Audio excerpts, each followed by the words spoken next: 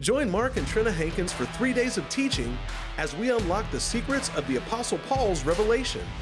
This will be the first public meeting in the brand new Mark Hankins Ministries Conference Center in Woodworth, Louisiana.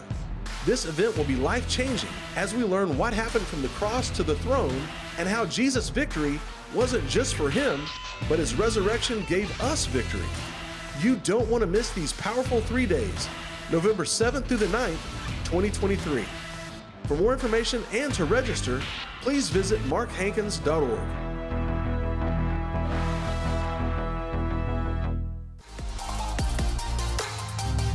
It's now time for Mark Hankins.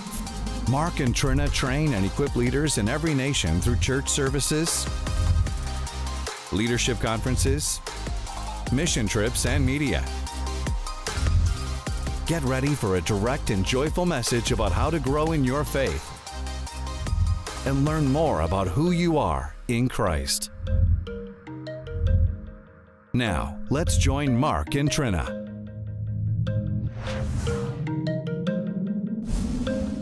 Welcome to the program today. I'm Mark Hankins. This is my wife Trina, and we are so glad you could join us today. All this week, we have been studying the blood of Jesus, the precious blood of Christ, and we've been studying specifically faith in that blood and what the blood of Jesus has done. Number one, in heaven, Hebrews chapter 9 and verse 12 says, Neither by the blood of goats and calves, but with his own blood. He entered in once into the holy place. When he says he entered in once into the holy place, that simply means he did this once and for all, mm-hmm. once for all time, once for all of eternity, once for every man, once for every problem, once for every blessing. He did it once. He did it once and he obtained eternal redemption for us with his own blood. So, if wow. the devil is giving you a hard time, we give him a bedtime story and we say, Once upon a time, God was manifest Once. in the flesh, amen, and the precious blood of Jesus cleanses us. In other words, what he shed that blood on the cross and then he took his blood into heaven. One translation, I think, from Ephesians 4, where it says, He descended into the lowest place mm, and he good. ascended into the highest, highest place, place that he might fill all things. I like that Ephesians chapter 4. So there's mm. no place that, that he might. Jesus yeah, is not Lord. He is Lord in every situation, in every place. He descended to the lowest place, he ascended to the highest place that he might fill all things. One Ephesians translation says 14. that he might fill everything. Mm-hmm. Yes. Everywhere with Himself. that means Jesus is Lord everywhere. It says in the uh, in every situation, He might fill all things, the whole universe. Yeah. From the lowest to the highest. To the highest. So he, everywhere you look, Jesus anywhere, India, Africa, Amen. Asia, anywhere you go, that Jesus is Lord everywhere you go. Amen. And so his lordship, that means whoever calls on the name of the Lord, which means you may be in Africa, India, South America, when you con- confess or declare Jesus is Lord, there is salvation and deliverance, and there is healing, and there is blessing. So in studying the blood of Christ, he took his blood into heaven itself and obtained eternal redemption for us. You know, in the blood of any person is their story. Yeah. Their history. Yeah, the DNA. What, what disease. Your identity. Everything. Your identity. Everything about you, your blood type, your nationality, everything is in yeah. your blood. Yeah. Oh, there's a story in the blood and of Jesus. Yeah, and they actually say that your blood contains the antibodies yeah. of every disease that you have ever overcome. And those antibodies, they call them memory cells. In other words, the antibodies remember how they defeated that disease last time. Yep. And if that disease ever shows up again, bam, here your antibodies bam. are after it. And so Jesus' blood contains the antibodies of every disease, every problem, every situation the memory cells of how he overcame, and that blood has that power for and us. And you don't have to understand everything. Yeah. But, you know, just like you, you don't understand everything about medicine or whatever. But you know that when it's applied, it's going to work. There's power in it. Power. The expiration date never runs out. It's always Wow. full of power. Yeah, and my mother. And then I heard Dad Yeah. Hagin say, he said well, he was raised in Baptist and gotten saved, he said, but he came over among spirit filled people and got filled with the Holy Ghost because he said they believed in healing. But he said the Pentecostal people would say, I plead the blood. In the name of Jesus, I plead the blood. Plead the blood. So he said, I didn't much understand. It's kind of a mystery to me. He said, but it worked so well that I would say, in the name of Jesus, I plead, the, plead the blood. blood. No matter what was coming against my mind or my body, I'd say, in the name of Jesus, I plead the blood. He said, it worked so well for me, I still do it to this day. There's power in the blood. I still do it to this day. And so, uh, Still Dad. Hagin, I have faith in the blood. Yeah. I plead the blood. My mom would say, I plead the blood, which is just a legal term that says, I rest my case on the blood of Jesus. I will win this case because of what happened on the cross and the blood of Christ. He took it into heaven and he obtained eternal redemption for us. Praise God. So he Wow. doesn't look at us and say, You miserable wretch. Yeah. he looks at you through his blood and you are perfect Yeah. and beautiful in his sight, righteous. uses that word perfect actually in Hebrews. The word perfect is in there 13 times, I think. The word perfect, and many times it's in reference to the old covenant of the, the blood of, of goats and lambs was not perfect, so it could not take away sin. Yeah. But the blood of Jesus was the perfect sacrifice the by the perfect person to perfect some very imperfect Imperfect people. One translation says. So, so the blood of Christ. When Amen. Jesus was uh, conceived by the Holy Spirit, Yeah. there was no sin in him. Yeah. He had the DNA of God. The blood and of that God. blood Yeah. uh, is what we overcome with the blood the of the blood Lamb. of the Lamb of God. But now it's the blood of the last Adam. The last Adam. The blood of the God man, the blood of Christ. It is that blood covenant that makes us a new creature in Christ and old things pass away and everything has become. Amen. Wow. Amen. So now when we take communion, we wanted to look at this just for a moment. 1 Corinthians chapter 11, where the Apostle Paul said, As often as you do this, you do show the Lord's death until he comes again. When you take communion, he says, You take the bread, which Jesus said is my body. When, when he did the Last Supper in the book of Matthew, I think it's chapter 26, Jesus said, This is the blood of the New Testament. Or let's look at the word covenant. This is the blood of the new covenant. And so, Paul, in taking communion, he said, when you take the bread, it's his body is broken for us. Mm-hmm. When you take the cup, it is his blood. Mm-hmm. He said, as often as you take the bread and as often as you take the cup, mm-hmm. you do show the Lord's death until he comes again. So it seems to me that the more often you do that, Yeah. the more it will make an impact Yeah, we on your mind and you your you practice that on a regular uh, Yes. basis, yeah, So it's good to do that as Yeah. often as we can. as often. And then he said, when you do this, like uh, churches sometimes do it together, sometimes individuals, as often as you take the the, the bread Mm-hmm. and then you take the cup, he said, you drink the cup, which is his blood. You take the bread, which is his body broken for you, and that we call that communion. That now you are in union with the Master, in union with Christ, in his death and in his resurrection, his blood. You show that.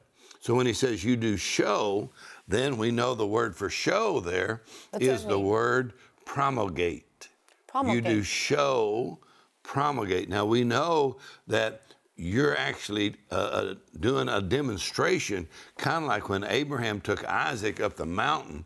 He was simply given a demonstration of what uh, God would do with his only son. Right. And so Abraham is acting that out, and now Jesus is the Lamb of God, the sacrifice for us. Mm-hmm. But here he says, when you take communion, you're actually showing. Who are you showing? Well, I believe you're showing not only publicly, but unseen powers. You're showing that I am now in blood covenant mm-hmm. with Jesus Christ, mm-hmm. the Son of God. What does promulgate mean? So the word promulgate, you do show, means to put a law or decree into effect by an official declaration. To put a law or a decree, decree. into effect by official proclamation or declaration. Mm-hmm. All right, so the example I was preaching in Mexico, and my interpreter said the example of promulgate, he said in Spanish, is when you say, I now pronounce you husband and wife, like in a wedding ceremony, and you come to the end of promulgate. it, and I now promulgate, I officially declare it is a legal fact that you are now husband and wife. These two have become one. So holy. So imagine your yes. your uh, communion oh. with Jesus. Mm-hmm. You do declare these two have now become one. When you do that, that's a legal declaration, and you do show. So you could say, "I'd like for the every devil, every demon, I'd like to show." That I am legally now in blood covenant with Jesus Christ. Mm-hmm and Satan, it is illegal for you to put anything on me that right. Jesus bore for me. Mm-hmm. so it's a if, public. Thing. Yeah. So if sickness comes around or depression or shame, you say, I am in union, communion, covenant with Jesus Christ. And now, Satan, I command you to stop your maneuvers and operations against me now. In the name of Jesus, I plead the blood. You know, that's what you have to do. You do show. Jesus said, the thief comes but for to steal, kill, yeah. and to destroy.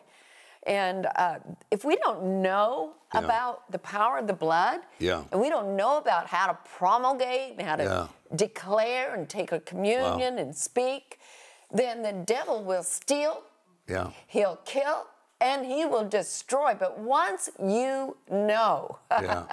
and you know what you're saying, and yeah. you address the enemy, you address that thief, you address the one who's destroying your life, you say, Get out of here. In the name of Jesus, it's not legal. Yeah. It is illegal. That's what the Lord told me when Dylan when Dylan was when, sick. When he was diagnosed with mm-hmm. leukemia, we took communion together many times and we said, Satan, you have to take your hands off of our grandson's body.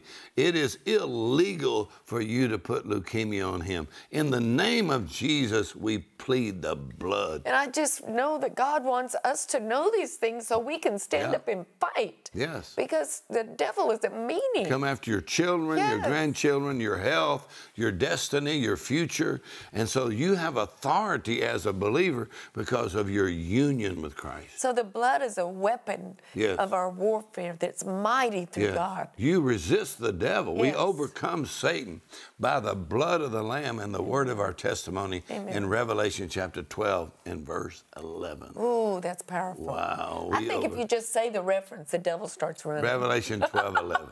that you overcome the accuser by the blood of the Lamb, because with yes. the accusation mm. lets him get in to give you guilt or condemnation, and now your faith is not going to function mm right mm if you're under guilt and condemnation. So the moment the blood is applied, then the sin, the shame, the guilt is removed, the accusation must be stopped, and now you are able to receive the blessing of the Amen. Lord. So 1 Corinthians 10 16. I don't want to forget this. Let's get 1 Corinthians 10 16, Paul says when you take communion, he talks about the blood in the cup. He says, when you take communion, you take this cup of blessing. Ooh. He calls the blood the cup of blessing. That means Christ has redeemed us from yes. the curse, and now the blessing of the Lord belongs to us. But so we're us, redeemed from the curse. Somebody might not know what the curse means. Well, uh, in, in Galatians 3.13, we're quoting, we're redeemed from the curse. Deuteronomy 28, it says that you're cursed in your body, your family, everything is cursed because of your disobedience. So it but lists Christ all these curses redeemed come us. on you. Yeah, sickness, disease, poverty, right all of those curses come yeah. on you. He says, man, the curse comes. So, so the blood of Jesus. So when Jesus went to the cross, he became that curse. Yeah. He took it for us. Yeah. So we could be blessed. So we could be blessed. And so now you can say, if sickness or disease or depression or shame comes on you, mm-hmm. then you can say, I'm redeemed by the blood of Jesus. And I am blood blessed. I'm blood blessed. Mm-hmm. Because of the blood, I'm blessed. My body's blessed. My family's blessed. My finances are blessed. My children are blessed. blessed. The blessing of the Lord. And actually, the word blessed, B L E S T, in the root word in the giant dictionary I read years ago said the root word for the word blessed is the old English, English word, uh, our Latin word is the old word for blood. The word blessed comes from the root for blood. blood. Because as soon as the priest went in and offered the blood, he always came out with a blessing. he would always pronounce a blessing. Oh, bless. May the Lord bless you and keep you, his countenance shine upon you, give you peace. Amen. Words of blessing, but those aren't just empty words, yeah. they're words that carry, they're covenant yeah. words. Amen. And the, and the Holy Spirit is in those words. Yeah. And when you begin to, like, I'm a mom, so I always think of my family, my household. You know, those are my most precious people are my children, mm. my grandchildren, my husband, mm. you know, mm. and I don't want the devil get in my house. You gotta get out of here. Yeah. You know, and so I do some business in the kitchen. yeah. Okay, this is what the word says. So that's this is not legal. Mm. So I'm taking this communion and I'm going to promulgate that it is legal and it is illegal for the devil to get in my house through whatever and it is legal for blessing. Yeah. Whew. Uh, we are blessed. We are blood blessed. Blood blessed. And you know what happens? I get chill bumps everywhere. You get happy, yeah. Because the Holy Ghost gets on me and I get so happy. I'm blessed. And I start singing and I'm happy. The blessing of the yes. Lord in every facet of that blessing. And God does miracles. So, uh, to have faith in the blood yeah. means there must be an application. application. Communion is one way that you do show, you do show the Lord's death until He comes again, which means you could do that every day if you want to, but you need to know what it means not just go through the cup and the bread, but you need to know what it means. What it means. What does this demonstrate? What does this mean? This means that because of the blood of Jesus on the cross, 2,000 years ago, on Calvary's Hill, when his blood was shed, mm-hmm. that now I am free, I'm redeemed, I am blessed because of that blood. But if you're going to have faith in the blood, then you really need to have a confession, confession. of faith. Well, when you take declaration. communion, yeah. you're putting something in your mouth. Yeah. You're putting that, that wafer, that cracker, whatever, the bread in your mouth and you're chewing it. It ah. becomes part of you. Yeah. You become union with that. that. And then you drink it. Yeah. And it typifies the body of Christ yeah. and the blood of Christ. So and you're in union. You're digesting, so to speak, so you're who Christ you're is. acting it out. Yeah. And Isaiah 53, where it says, yeah. Surely he has borne, mm. Isaiah 53, verse 5 and 6, I think yeah. it is. Surely he has borne, the word borne is the word nasa. That means he has lifted it from us. Surely he has borne our griefs and carried our sorrows.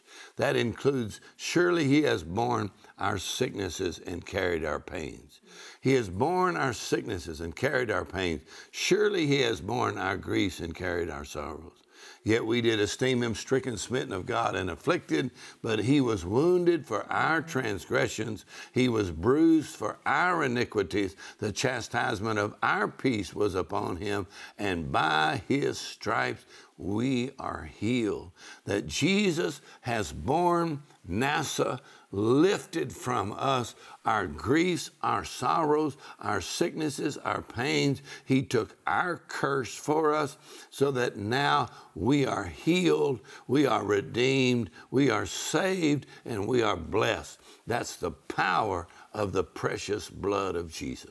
Hallelujah. I love that. Isaiah 53 in the, uh, in the Amplified Bible, 2 Corinthians 5.17, mm-hmm. it says this, if any man is engrafted, engrafted. into Christ. So that's what happened. Yeah. Tell about Isaiah 53, being engrafted. That he is born, and now we, uh, he was wounded for our transgressions, mm-hmm. bruised for our iniquities.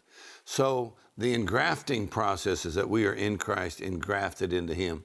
The engrafting process uh, there is no grafting without wounding. And for the graft to take, there must be an identical cut on the stock as it is on the branch, and then that branch is engrafted and they grow together. So Jesus was wounded and cut with our identical condition, and when he was wounded, we were engrafted into him. That's why the power of the cross and the mystery of what happened there is what Jesus has done as our substitute. He did it for us, set to the credit of our account, just like we were there. Hallelujah. Hallelujah. Amen. So now our confession. So we have this confession card we'll send to you. So good. The confession. The blood of Jesus purges me from every defilement of the enemy. The blood of Jesus keeps and guards my mind day and night.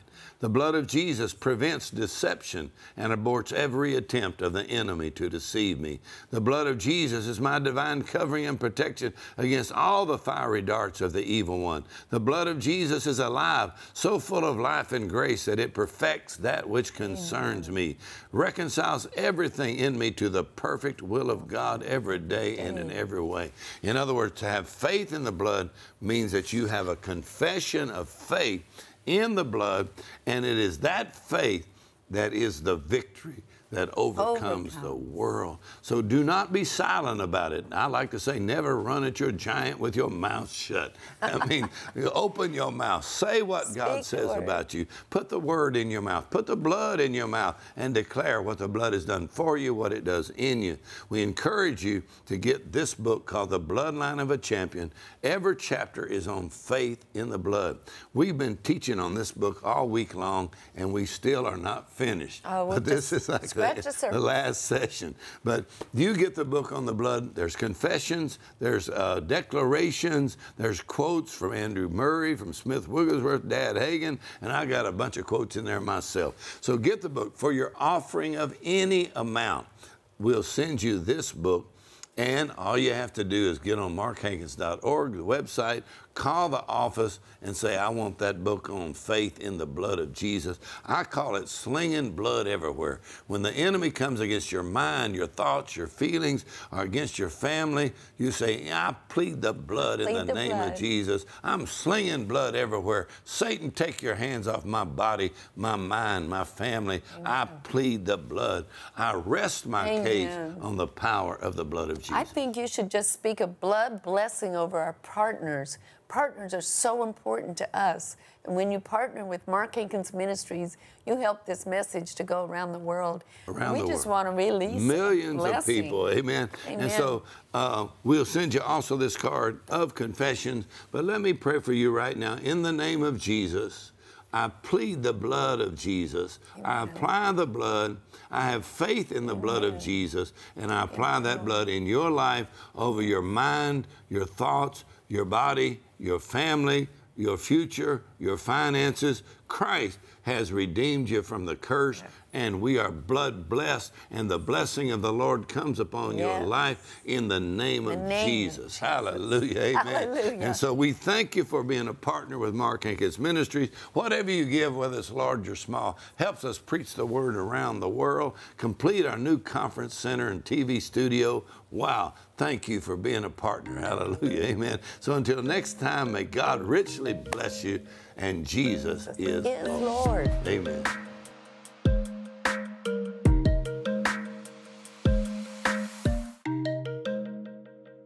Join Mark and Trina Hankins for three days of teaching as we unlock the secrets of the Apostle Paul's revelation.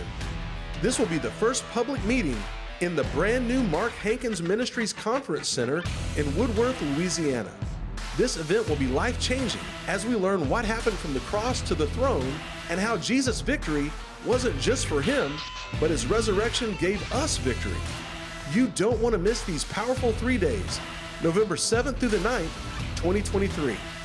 For more information and to register, please visit markhankins.org.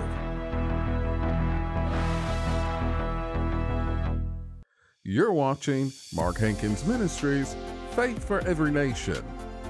There is no doubt we are living in uncertain times.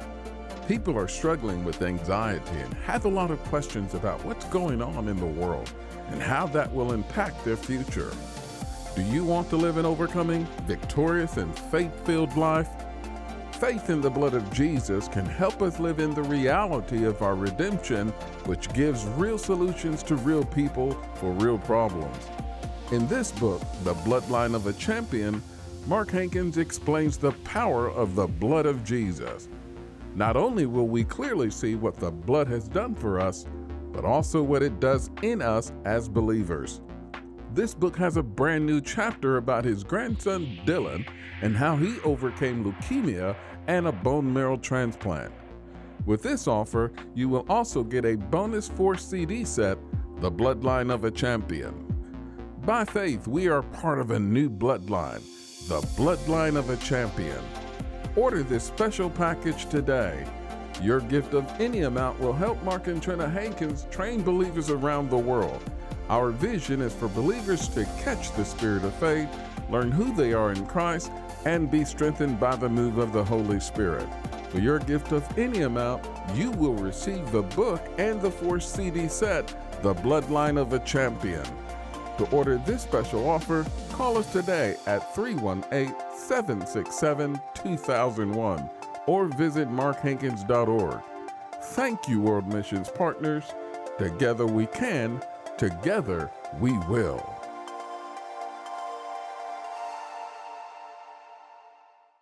Thank you so much for joining us for the program today.